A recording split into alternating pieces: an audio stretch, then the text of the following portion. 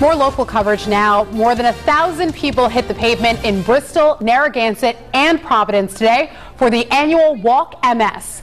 Eyewitness News reporter Catherine Sotnick caught up with several walkers today who are fighting the disease, and she has their stories from the Providence Mobile Newsroom. Hundreds of walkers cross the MS Walk finish line in Providence Sunday, all walking for someone special. My mom, uh, Barbara Schwartzberg, who passed away in de in December. A doctor told you you'd never walk again. Absolutely, and if I did, it would be with a walking device. But Tara Costa is walking again, the whole three-mile route. She admits her time with MS hasn't been easy. 2009, um, I had a couple of bouts of going into the hospital. In 2010, I was paralyzed from the waist down. Um, I was in the hospital for eight weeks.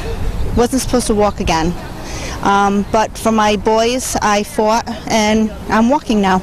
And we're told the money raised will go towards local families and support national research. We expect to raise hopefully $300,000. And what's great about the walk is everyone participates. We have a lot of people with MS and their families and their dogs and their pets. Families like Tina and Dan Contoy, who are walking for their 26 year old son, Thomas. Life completely stopped. He, he lost feeling in his entire body, so. Yeah, so I'm so grateful that people came out today and, and are making a difference. And in the U.S. alone, 400,000 people are living with MS. We could tell you that an additional 200 people are diagnosed each week. I'm Catherine Sotnick, Eyewitness News.